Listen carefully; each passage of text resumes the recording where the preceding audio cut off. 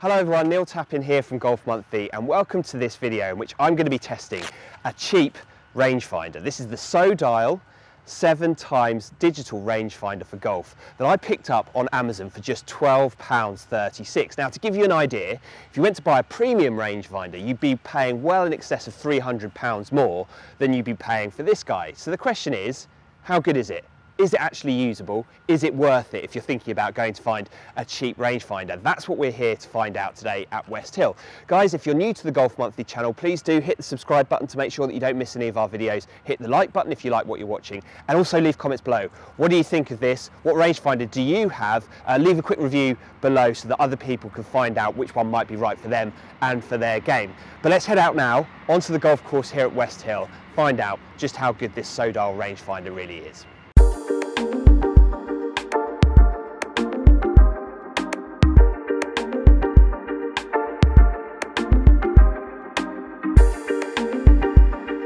Right, so we're going to start here on the range at West Hill. Now that might sound like a strange place to begin, but uh, I've had this now for about three weeks and it does take a little bit of getting used to. It. It's taken me a few rounds of golf to really get a feel for exactly how to pick up the right yardage. I feel like I'm able to do it now and I'm going to give you a little demo of how it works on the range here. Now, um, if you look at the top of the rangefinder, you've got two buttons. One says adjustion I'm not sure what that means. Uh, one says mode.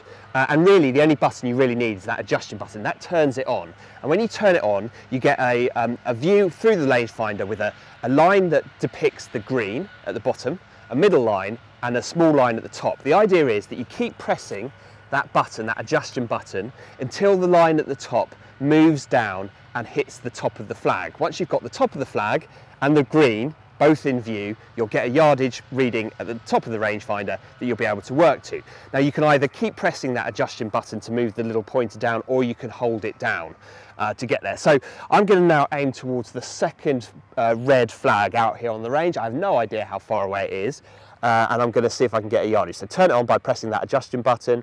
Uh, I'm going to hold down the um, the adjustion button to move that pointer down. It does take a little bit of time. It's not terribly quick, but it'll get there eventually.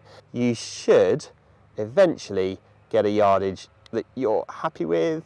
I'd say one more. Yeah, that's giving me a yardage of 116 yards, which I suspect is probably uh, pretty good. It looks uh, about right to me. Uh, for me, 116 yards is a 54 degree wedge. So quick hit, see if that's right, and then we'll head out onto the golf course.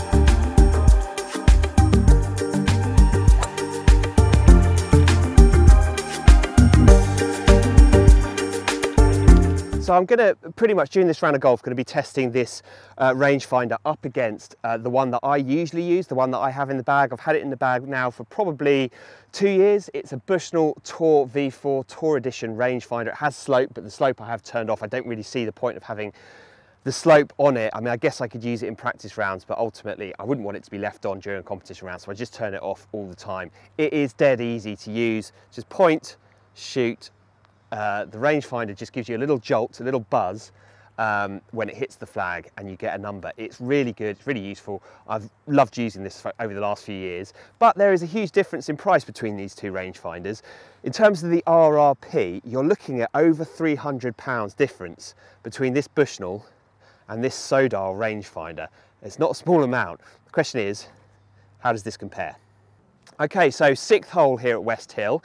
And uh, this is where I've hit my drive to, so a good op opportunity to do a live test of this SoDial range finder. Now, what I'm going to do is I'm going to find out the yardage and you'll notice I've got a good view down towards the green, down towards the flags. I'm going to get the yardage using this. I'm then going to hit the shot based on this yardage and then I'm going to check it against what the Bushnell is telling me. Now, just uh, my naked eye I, there are uh, yardages on all the sprinkler heads at West Hill, but I haven't looked at any of those.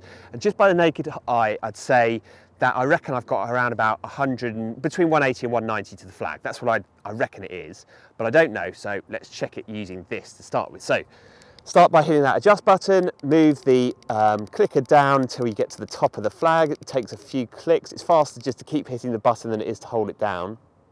Um, and I'm going to go one more. So that's saying 207. So it's saying it's a little bit further than I thought it was. And actually the wind's into is slightly downhill, but there's quite a bit of breeze here. So I'm going to hit four iron. Um, and I think I'm going to have to hit it fairly well to get there. Um, yeah, this is looking like quite a tough shot actually.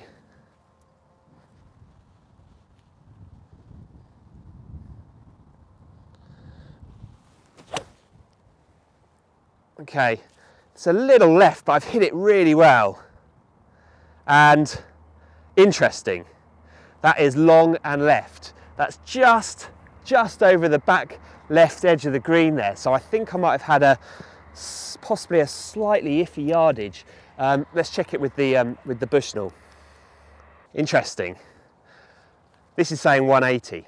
And you'll notice, firstly, you'll notice how quick it was to buzz and pick up the yardage of 180. Uh, and secondly, you'll notice that there's 27 yards difference between the two rangefinders. I think the issue that I've had with the SoDial rangefinder is it because it's so light, because it sort of is so small, it's really quite hard to get those lines lined up exactly where you want them. Obviously, I didn't quite get it right. I'm 27 yards out. So with the, the yardage that I now think is about right, this is actually looking to me like a five iron shot. Um, I've also, obviously, having already hit one, I know that it's not quite a four iron. So, uh, yeah, five iron seems to be the right club for me here.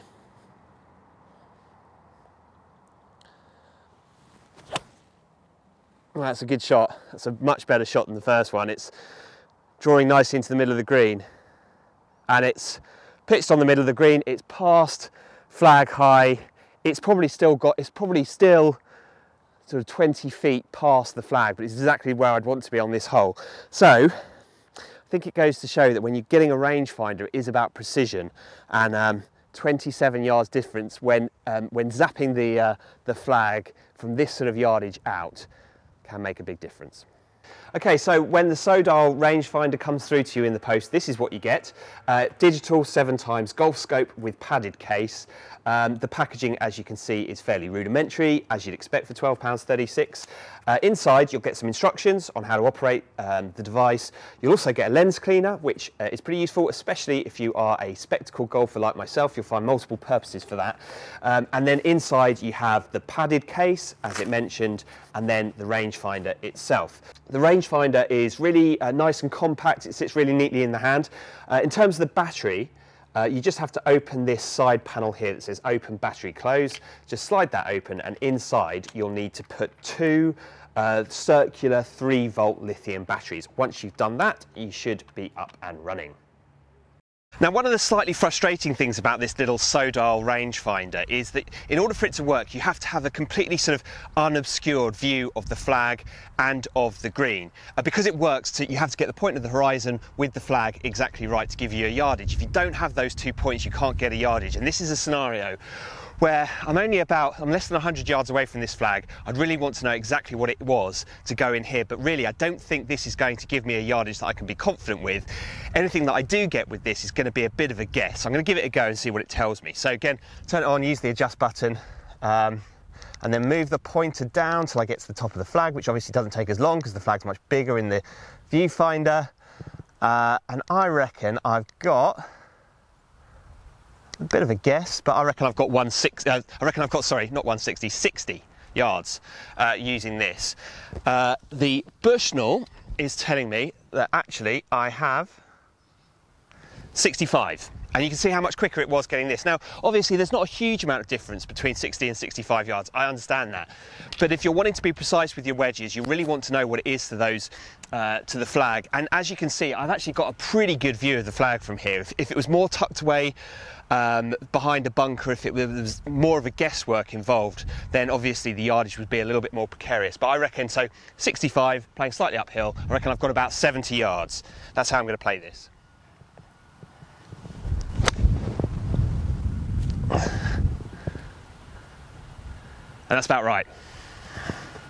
Okay, so ninth hole here at West Hill. It's a beautiful little par three. uh, we can do another quick live test. Um, now I know that this, from here, the, the, the, yardage marker just to the left of me on the tee says 165, but the flags at the front, what exactly is that yardage? That's why we carry rangefinders. We, we carry them to find out exactly what the number is. Let's see if I can get it using this. Now you'll also notice I'm slightly looking down towards the green. I've got a great view of that flag. I really should be able to pick up a pretty precise yardage using this from here, you would have thought. So turn it on, press that adjust button, uh, move the top of the, the marker at the top down until I get to a point. Yeah, uh, it's either one, yeah, it's either 165 or 155. I would say, I think it was 155. So this is slightly downwind, so I'm going to hit a 9-9. My 9-9 yardage is usually around about 150, but I think this is slightly down, slightly off the right-hand side. So if it is 155, 9-9 will be just about right. Let's give it a go.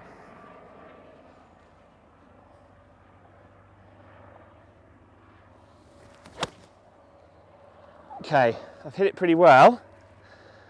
Slightly out the bottom of the club, but pretty good. And yeah, that's quite close actually. That's a little bit short of the flag, probably a couple of yards short of the flag, but dead on line. I would be really happy with that. Now, one thing I failed to mention is what this mode button is for on the top of the rangefinder. So uh, basically, you can use this to get up a slightly different display and you can keep tapping away on the top of the rangefinder uh, and you can input the height of the flag. That will calculate the yardage that you're looking for. I don't know what the heights of any golf flags are. Uh, I don't know uh, exactly when I would use it. I haven't used it so far. It seems to me for the golfer uh, not to be a terribly usable function. But if you have used it and if you know how to use it better than I do, please do leave a comment below. I'd be interested to hear your thoughts. But uh, so far I've just been using the adjust button on top.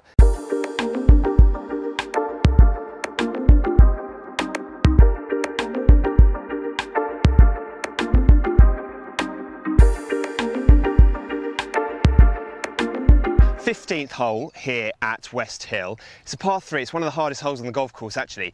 And I know that the yardage is less than 182 because just behind where the camera is set, there's a marker by the side of the tee telling me the hole is 182. But this is quite a long way forward from there, about 20 yards or so. But what is it exactly to the flag? Okay, there we go. So, that looks pretty good. It's possibly one more click on from where I've got it. That's saying 155. One click on is saying 169. Given that it's 182 just behind where the camera is, I'm going to play to the 169 yardage because that feels to me like it's probably about right. Am I 100% sure that it's right? No. Uh, is it about right? I think so. Right, so I'm going to hit a 7 iron, which is usually about right for me from this sort of yardage. Uh, it's slightly into the wind, but there's hardly any wind really, to be honest with you, um, this morning. So let's give it a go. Okay, I hit a pretty good shot there. That's straight at it actually. Um, and well, we'll go and have, up and have a look at see how close that actually is. But that's a really good shot for me.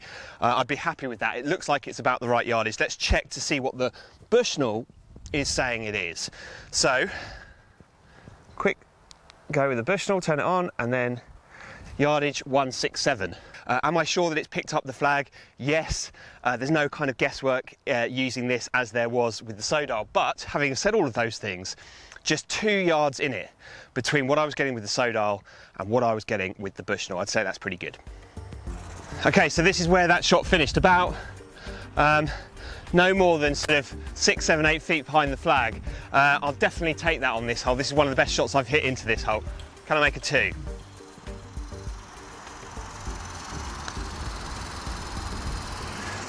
Not quite, but an easy par.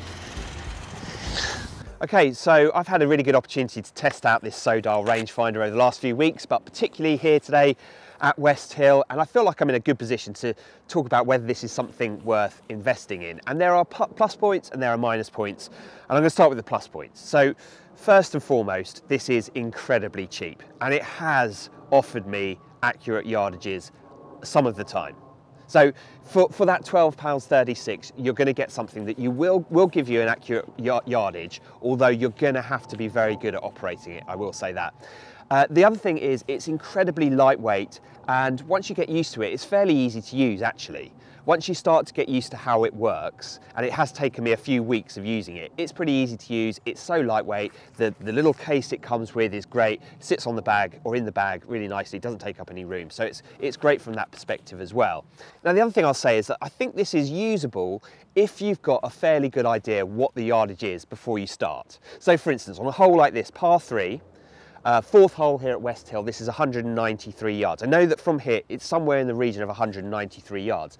I can turn around, I can use this rangefinder here, and I'll probably be able to zero in on a bit more of a precise yardage with this, whilst also knowing roughly the territory we're talking about. When you don't have that original information, then I'm not sure I'd be 100% confident relying on the information I got from this without also having a, a, a, second opinion coming from elsewhere. many golf courses around the world and in this country have uh, yardages on sprinkler heads, so it's not like that information isn't available to you. So there are some people out there for whom this might be a good option, but there were some issues uh, with it for me. The first, and probably the biggest issue I think, is that you've got to have the steadiest hand to be able to use this. A really steady hand because you have to line up the green at the bottom with the flag at the top and that's tricky to do. With the seven times magnification, when you're magnifying that far, any slight movement in your hand and you're going to start second guessing yourself as to whether you've actually got the yardage that you intend to get. I found myself whilst using this also going for a second opinion with the Bushnell on more than one occasion. Uh, the next negative point is just how long it takes to get a yardage. This adjust button at the top here, I found myself, you know, you get into position, you keep tapping it, tapping it, tapping it, tapping it until that little pointer at the top comes down to the top of the flag. It's fiddly, it takes significantly longer than it takes with, for instance, the Bushnell that I've been using to get a yardage that you think is about right. And thirdly, uh, finally, you're not going to be able to get as many yardages with something like this as you will get with a laser rangefinder like the Bushnell that I've been using. For instance, if you're on the tee of a par 4 and you want to know what it is to a bunker out there in the distance, you're not going to be able to use this to find out what that yardage is. You're going to have to ask a friend or you're going to have to figure it out in your own mind. With my uh, rangefinder that I've been using for the last few years, I've used it on numerous occasions to work out how far it is, for instance, to a tree at the end of the fairway or to a bunker, whatever it might be. That's where those rangefinders really do come in handy on top of providing very good accurate yardages very quickly indeed. So there you have it. That is the SoDial Golf Rangefinder. Guys, uh, please do leave some comments below. What do you think of this? Do you think it's worth uh, testing out for yourselves. Obviously, uh, if it's my choice, I've already got a Bushnell in the bag. I'll stick with it, very happy with it. But that is a premium rangefinder and with the price differential between the two I appreciate there's going to be a lot of people out there that won't want to spend in excess of 300 pounds on a laser rangefinder. If you don't want to spend that sort of money you will be giving up on certain things. If you dip down to this sort of level I hope you can uh, kind of get an idea for the sort of things you'll be able to uh, use it for and the sort of things that you won't be able to use it for. But please do leave comments below. We'd be really interested to hear your thoughts. Guys thank you very much for watching the video. If you've liked what you watched please do hit the like button. But for now from West Hill, it's goodbye.